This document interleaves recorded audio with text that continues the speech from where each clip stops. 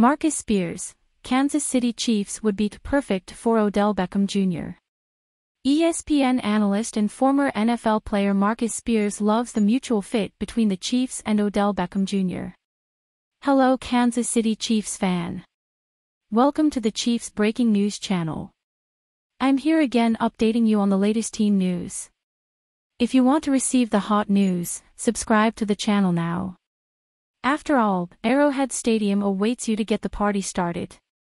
Marcus Spears knows a thing or two from his days playing defensive front for the Dallas Cowboys for nearly a decade, and specifically, he was able to watch elite players like Terrell Owens do their thing at wide receiver.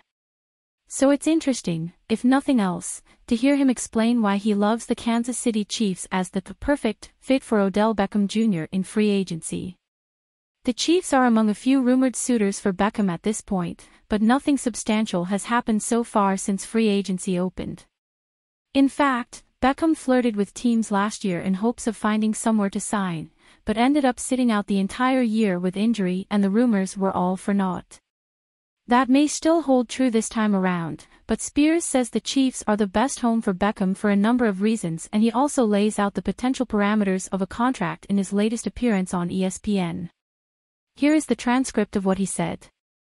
No, he doesn't have to be in one place, but he will be in Kansas City, which should be the obvious place for me. When you think about it, he's only wide receiver because Travis Kelce is not a wide receiver. So he would be the only one, but it would still be both, when it comes to the guy's skill and effectiveness. I think you do a one-year deal, 6 to 7 million dollars in Kansas City.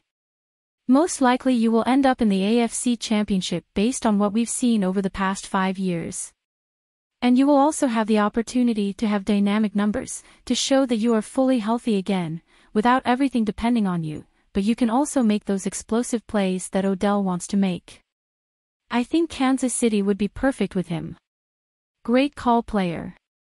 Great defender.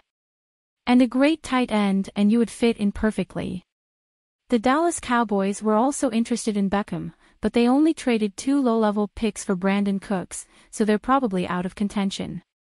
The Ravens have also been mentioned, but they're a heavyweight team whose wide receivers are pissed off at how underutilized they are, and that doesn't even touch the Lamar Jackson scene.